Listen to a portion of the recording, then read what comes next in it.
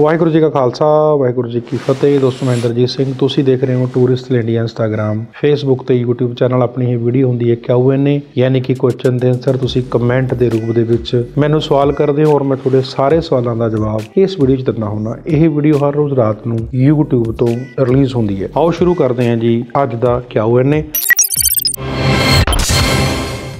ਸਭ ਤੋਂ ਪਹਿਲਾ ਕਮੈਂਟ ਹੈ ਜੀ ਮੁਹੰਮਦ ਹਸਨ ਦਾ। ਇਹ ਲਿਖਦੇ ਨੇ, sir U S A tourist visa ਪਰ ਟਰੱਕ ਲਾਇਸੈਂਸ ਲੈਕਰ ਟਰੱਕ ਚਲਾ ਸਕਦੇ ਹਾਂ। ਦੇਖੋ ਜੀ ਟੂਰਿਸਟ ਵੀਜ਼ਾ ਤੇ ਤੁਸੀਂ ਲੀਗਲੀ ਕੋਈ ਵੀ ਕੰਮ ਨਹੀਂ ਕਰ ਸਕਦੇ। ਹਾਂ, ਤੁਸੀਂ ਟਰੱਕ ਲਾਇਸੈਂਸ ਜ਼ਰੂਰ ਬਣਾ ਸਕਦੇ ਹੋ। ਭਾਵੇਂ ਤੁਸੀਂ ਕੈਨੇਡਾ ਚੋਂ, ਭਾਵੇਂ ਯੂ ਐੱਸ ਏ ਚੋਂ, ਜੇ ਤੁਸੀਂ ਟੂਰਿਸਟ ਵੀਜ਼ੇ ਤੇ ਜਾਂਦੇ ਹੋ ਲਾਇਸੈਂਸ ਬਣ ਜਾਂਦਾ ਹੈ ਬਟ ਲੀਗਲੀ ਤੁਸੀਂ ਟਰੱਕਿੰਗ ਨਹੀਂ ਕਰ ਸਕਦੇ। ਜੇ ਤੁਸੀਂ ਕੈਨੇਡਾ ਹੋ, ਪਹਿਲਾਂ ਤੁਹਾਨੂੰ ਟਰੱਕਿੰਗ ਲਾਇਸੈਂਸ ਲੈਣਾ ਪਊਗਾ, ਫਿਰ ਆਪਣਾ ਵਰਕ ਪਰਮਿਟ ਪਾਣਾ ਪੈਣਾ, ਫਿਰ ਤੁਸੀਂ ਲੀਗਲੀ ਕੰਮ ਕਰ ਸਕਦੇ ਹੋ, ਜੇਕਰ ਅਮਰੀਕਾ ਚੋਂ ਉੱਥੇ ਜਾ ਕੇ ਤੁਹਾਨੂੰ ਅਸਾਈਲਮ ਪਾਣੀ ਪੈਣੀ ਹੈ ਵਰਕ ਰਾਈਟ ਲੈਣੇ ਪੈਣੇ ਹੈ ਦੈਨ ਤੁਸੀਂ ਟਰੈਕਿੰਗ ਕਰ ਸਕਦੇ ਹੋ ਡਰਾਈਵਿੰਗ ਕਰ ਸਕਦੇ ਹੋ। ਕੱਲਾ ਲਾਇਸੈਂਸ ਲੈਣ ਨਾਲ ਤੁਸੀਂ ਡਰਾਈਵਿੰਗ ਜਿਹੜੀ ਹੈਗੀ ਹੈ, ਉਹ ਨਹੀਂ ਕਰ ਸਕਦੇ ਅਗਲਾ ਕਮੈਂਟ ਹੈ ਜੀ ਮਿਸਟਰ ਤਰਪਿਆ ਲਿਖਦੇ ਨੇ ਸਾਨੂੰ ਪਹਿਲਾਂ ਯੂ ਐੱਸ ਏ ਵੀਜ਼ਾ ਨਹੀਂ ਲੱਗਿਆ 1 ਸਾਲ ਹੋ ਗਿਆ। ਅਸੀਂ ਯੂ ਐੱਸ ਏ ਸਪਾਂਸਰ ਦੇ ਫਿਰ ਅਪਲਾਈ ਕਰ ਸਕਦੇ ਹਾਂ। ਬਿਲਕੁਲ ਕਰ ਸਕਦੇ ਹਾਂ ਜੀ, ਕਿਹਨੇ ਰੋਕਿਆ ਤੁਹਾਨੂੰ? ਈਵਨ ਕਿ ਜਦੋਂ ਤੁਹਾਨੂੰ ਐਮਬੈਸੀ ਡਿਨਾਈ ਵੀ ਕਰਦੀ ਹੈ ਨਾ, ਉਦੋਂ ਵੀ ਐਮਬੈਸੀ ਤੁਹਾਨੂੰ ਕਹਿੰਦੀ ਹੈ ਕਿ ਵੈਲਕਮ ਟੂ ਰੀਅਪਲਾਈ ਤੁਸੀਂ ਆਪਦਾ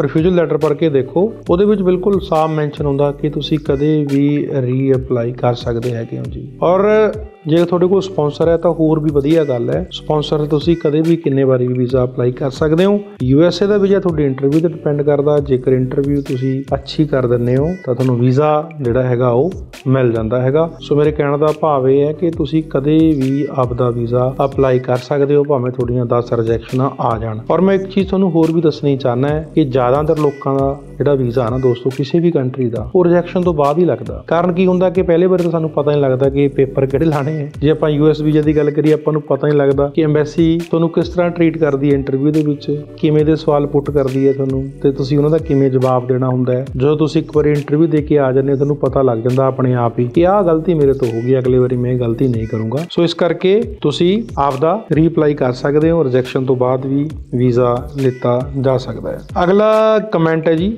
ਹਰਦੀਪ ਸਿੰਘ ਦਾ ਲਿਖਦੇ ਨੇ, ਸਰ, ਕੀ ਅੰਬੈਸੀ ਕਲੋਜ਼ ਹੈ ਹੌਲੀਡੇ ਲਈ ਜਾਂ ਓਪਨ ਹੈ? ਦੇਖੋ ਅੰਬੈਸੀਆਂ ਵੀ ਕਲੋਜ਼ ਹੋ ਜਾਂਦੀਆਂ ਨੇ ਜੀ 24 ਆਲਮੋਸਟ ਹੁਣ ਹੋ ਗਈਆਂ ਨੇ, ਕਿਉਂਕਿ 24 ਤਰੀਕ ਤੋਂ ਲੈ ਕੇ 4-5 ਜਨਵਰੀ ਤੱਕ ਜਿਹੜੀ ਐਮਬੈਸੀ ਹੈਗੀ ਹੈ, ਉਹ ਕਲੋਜ਼ ਹੋ ਜਾਂਦੀ ਹੈ, ਠੀਕ ਹੈ? ਕੋਈ ਵਰਕ ਨਹੀਂ ਹੁੰਦਾ ਸੋ ਇਹ 8-10 ਦਿਨ ਜਿਹੜਾ ਹੈਗਾ, ਉਹ ਹੋ ਜਾਂਦਾ ਬਟ ਇੱਕ ਪਤਾ ਕੁਝ ਨਹੀਂ ਹੁੰਦਾ ਐਮਬੈਸੀ ਦਾ, ਕਿਉਂਕਿ ਹੋ ਸਕਦਾ ਐਮਬੈਸੀ ਨੇ ਕੁਝ ਕੁਝ ਕੁ ਬੰਦਿਆਂ ਨੂੰ ਹਾਇਰ ਕੀਤਾ ਹੋਵੇ, ਜਿਨ੍ਹਾਂ ਨੂੰ ਵਰਕ ਫਰਮ ਹੋਮ ਜਾਂ ਕੋਈ ਐਕਸਟਰਾ ਮਨੀ ਦੇ ਕੇ ਉਹ ਕੰਮ ਕਰਵਾਉਂਦੇ ਹੋਣ, ਪਰ ਆਫੀਸ਼ੀਅਲੀ ਜਿਹੜਾ ਹੈਗਾ, ਉਹ ਛੁੱਟੀ ਹੁੰਦੀ ਹੈਗੀ ਹੈ, ਕਿਉਂਕਿ ਜਿਹੜੇ ਇਹ ਦਿਨ ਚੱਲ ਰਹੇ ਨੇ ਨਾ ਕ੍ਰਿਸਮਸ ਨਿਊ ਈਅਰ ਇਹ ਗੋਰੇ ਬਹੁਤ ਮਨਾਉਂਦੇ ਨੇ ਇਸ ਚੀਜ਼ ਨੂੰ। ਸੋ ਜ਼ਿਆਦਾਤਰ ਛੁੱਟੀ ਹੁੰਦੀ ਹੈ ਕੰਮ ਜਿਹੜਾ ਇਹਨਾਂ ਦਿਨਾਂ ਦੇ ਵਿੱਚ। ਸਲੋ ਹੋ ਜਾਂਦਾ ਹੈਗਾ ਜੀ। ਅਗਲਾ ਕਮੈਂਟ ਹੈ ਜੀ, ਸਿੰਘ 474 ਦਾ ਲਿਖਦੇ ਨੇ ਪਾਰਟਿਕਲ ਵੀਡੀਓ ਬਣਾਓ sir B1 B2 visa success rate ਕਿਦਾਂ ਦੀ ਹੋਣੀ ਚਾਹੀਦੀ ਹੈ ਪ੍ਰੋਫਾਈਲ ਕੀ ਹੋਣੀ ਚਾਹੀਦੀ ਹੈ। ਕੰਪਲੀਟ ਮੇਰੀਆਂ ਬਹੁਤ ਸਾਰੀਆਂ ਵੀਡੀਓਜ਼ ਪਈਆਂ ਨੇ ਜੀ, ਤੁਸੀਂ ਆਲਰੇਡੀ ਮੇਰਾ ਚੈਨਲ ਸਕਰੋਲ ਕਰਕੇ ਦੇਖ ਸਕਦੇ ਨੇ US B1 B2 ਤੇ ਮੇਰੀਆਂ ਬਹੁਤ ਸਾਰੀ ਵੀਡੀਓਜ਼ ਤੁਹਾਨੂੰ ਮਿਲ ਜਾਣਗੀਆਂ। ਪ੍ਰੋਫਾਈਲ ਕਿਵੇਂ ਦੀ ਹੋਣੀ ਚਾਹੀਦੀ ਹੈ? ਤੁਸੀਂ ਕਹਿੰਦੇ ਕਿ ਪ੍ਰੋਫਾਈਲ ਕਿਵੇਂ ਦੀ ਹੋਣੀ ਚਾਹੀਦੀ ਹੈ, ਆਪਾਂ US B1 B2 ਦੀ ਗੱਲ ਕਰੀਏ।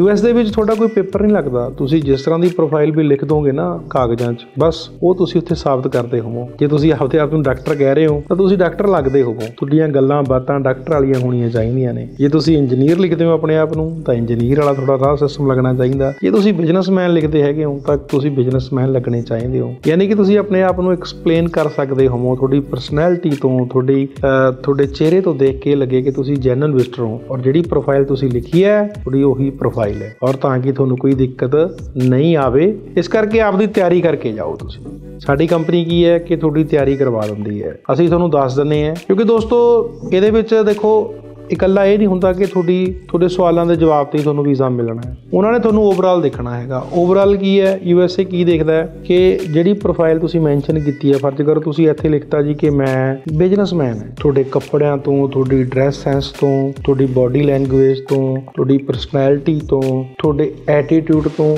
ਕੀ ਇਹ ਲੱਗਦਾ ਕਿ ਤੁਸੀਂ ਬਿਜ਼ਨਸਮੈਨ ਹੈਗੇ ਹੋ? ਕੀ ਤੁਹਾਡਾ ਕੌਨਫੀਡੈਂਸ ਲੈਵਲ ਬਿਜ਼ਨਸਮੈਨ ਵਾਲਾ ਹੈਗਾ ਕੀ ਤੁਹਾਡੇ ਮੱਥੇ ਤੋਂ ਇਹ ਚੀਜ਼ ਝਲਕਦੀ ਹੈ ਵੀ ਤੁਸੀਂ ਬਿਜ਼ਨਸਮੈਨ ਹੋ? ਅਸੀਂ ਤੁਹਾਨੂੰ ਇਸ ਚੀਜ਼ ਦੀ ਟ੍ਰੇਨਿੰਗ ਦਿੰਦੇ ਹਾਂ। ਅਸੀਂ ਤੁਹਾਨੂੰ ਤੁਹਾਡੀ ਪ੍ਰੋਫਾਈਲ ਦੇ ਮੁਤਾਬਕ ਗਾਈਡ ਕਰਦੇ ਹਾਂ ਇਹ ਤੁਹਾਡੀ ਪ੍ਰੋਫਾਈਲ ਹੈ, ਇਸ ਮੁਤਾਬਕ ਤੁਹਾਡੀ ਲੁੱਕ ਕਿਸ ਤਰ੍ਹਾਂ ਦੀ ਹੋਣੀ ਚਾਹੀਦੀ ਹੈ। ਤੁਸੀਂ, ਤੁਹਾਡੇ ਬੋਲਣ ਦਾ ਤਰੀਕਾ ਐਵੇਂ ਹੋਣਾ ਚਾਹੀਦਾ ਹੈਗਾ। ਔਰ ਅੰਬੈਸੀ ਤੁਹਾਨੂੰ ਇਹ ਸਵਾਲ ਪੁੱਛ ਸਕਦੀ ਹੈਗੀ ਹੈ, ਤੁਸੀਂ ਇਸ ਤਰ੍ਹਾਂ ਦਾ ਜਵਾਬ ਦੇਣਾ ਹੈਗਾ। ਸੋ ਦੋਸਤੋ, ਅਸੀਂ ਤੁਹਾਡੀ ਤਿਆਰੀ ਕਰਵਾਉਂਦੇ ਹਾਂ। ਤਿਆਰੀ ਕਰਾ ਕੇ ਅਸੀਂ ਤੁਹਾਨੂੰ ਜਿਹੜਾ ਹੈਗਾ ਇੰਟਰਵਿਊ ਲਈ ਭੇਜਦੇ ਹਾਂ। ਔਰ ਸਕਸੈਸ ਰੇਟ ਆਂਦਾ ਹੈ, ਕੋਈ ਦਿੱਕਤ ਵਾਲੀ ਗੱਲ ਜਿਹੜੀ ਹੈਗੀ ਹੈ, ਨਹੀਂ ਹੈਗੀ, ਤਾਂ ਤੁਸੀਂ ਅਪਲਾਈ ਕਰਕੇ ਆਪਦਾ ਜਿਹੜਾ ਵੀਜ਼ਾ ਹੈਗਾ, ਉਹ ਲੈ ਸਕਦੇ ਹੋ।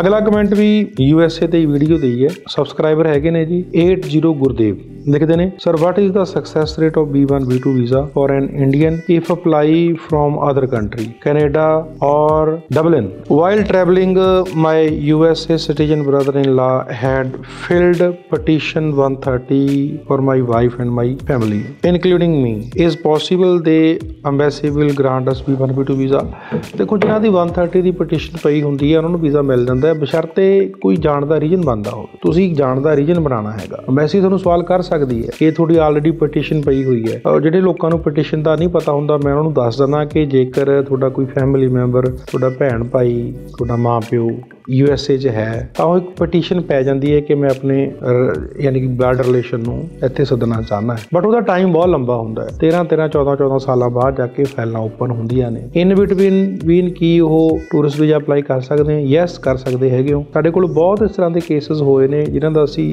ਇਸ ਦੌਰਾਨ ਵੀਜ਼ਾ ਜਿਹੜਾ ਹੈਗਾ ਉਹ ਲਿੱਤਾ ਹੈ। ਤੁਸੀਂ ਅਪਲਾਈ ਕਰ ਸਕਦੇ ਹੈਗੇ ਹੋ, ਪਰ ਤੁਸੀਂ ਆਪਦਾ ਪਰਪਸ ਆਫ ਵਿਜ਼ਿਟ ਬਣਾਉਣਾ ਹੈਗਾ। ਤੁਹਾਡਾ ਪਰਪਸ ਆਫ ਵਿਜ਼ਿਟ ਇਸ ਤਰ੍ਹਾਂ ਦਾ ਹੋਵੇ ਕਿ ਜਿਸ ਤੋਂ ਇਹ ਲੱਗੇ ਕਿ ਤੁਹਾਨੂੰ ਤੁਸੀਂ ਜੈਨੂਇਨ ਵਿਜ਼ਟਰ ਹੋ ਔਰ ਵਾਕਈ ਤੁਹਾਨੂੰ ਜਾਣ ਦੀ ਜ਼ਰੂਰਤ ਹੈਗੀ ਹੈ। ਤਾਂ ਦੋਸਤੋ, ਇਹ ਚੀਜ਼ਾਂ ਜੇ ਤੁਸੀਂ ਧਿਆਨ ਰੱਖੋਗੇ ਤਾਂ ਵੀਜ਼ਾ ਜਿਹੜਾ ਹੈਗਾ you S A B1 B2 ਤੁਸੀਂ ਲੈ ਸਕਦੇ ਹੋ ਅਗਲਾ ਕਮੈਂਟ ਹੈ ਜੀ ਸੀਪੀ ਆਫੀਸ਼ੀਅਲ ਲਿਖਦੇ ਨੇ I got positional LMIA NOC code and title 7611 construction trade helper and laborer. Job title construction laborer. My work permit uh, application was successfully submitted on August 31 to IRCC and then the received biometric request on the September 1st. Then I completed biometric at VFS Qatar. I have not received any further instruction from IRCC yet. May I know how long uh, it approve my work permit? However, my Canada work visa application as my position may expire on 18 October 2024. ਇਹ ਕਹਿੰਦੇ ਨੇ ਕਿ ਜੀ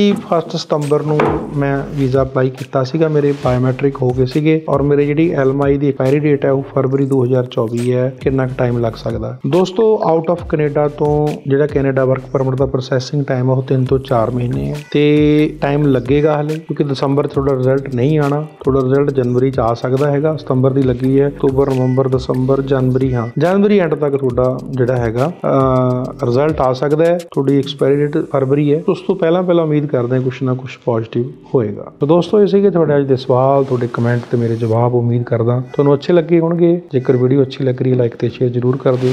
ਧੰਨਵਾਦ, ਸਤਿ ਸ੍ਰੀ ਅਕਾਲ।